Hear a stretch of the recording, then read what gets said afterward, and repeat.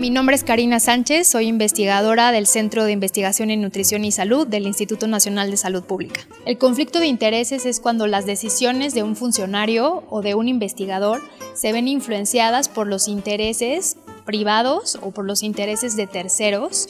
Esto puede generar un beneficio económico al investigador o al funcionario, eh, lo cual hace que las decisiones que tomen no sean absolutamente confiables. Nuestros tomadores de decisiones en México están siendo constantemente bombardeados por lo que nosotros llamamos pseudociencia, que son estudios eh, científicos, pero que no están publicados en revistas académicas de alto nivel.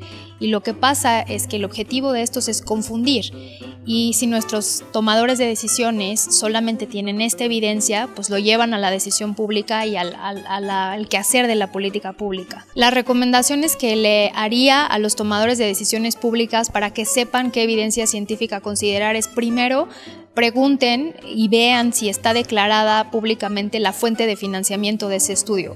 Si el estudio está financiado por la misma industria a la que evalúa o a la que comenta, ese estudio debiera no considerarse.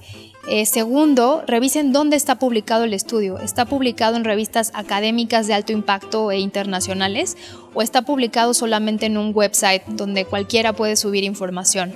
Tercera es revisen la metodología del estudio, si la metodología es sólida y además si el estudio tiene revisión de pares. Esto quiere decir que si otros autores, además de los que publican el estudio, revisaron la metodología y las conclusiones, y están de acuerdo con ellas. Y la última es revisen la accesibilidad pública de todo lo relacionado al estudio. Las bases de datos se pueden consultar, todo el estudio se publica o solamente se publica una parte. Los estudios que no tienen conflicto de intereses generalmente están publicados completos.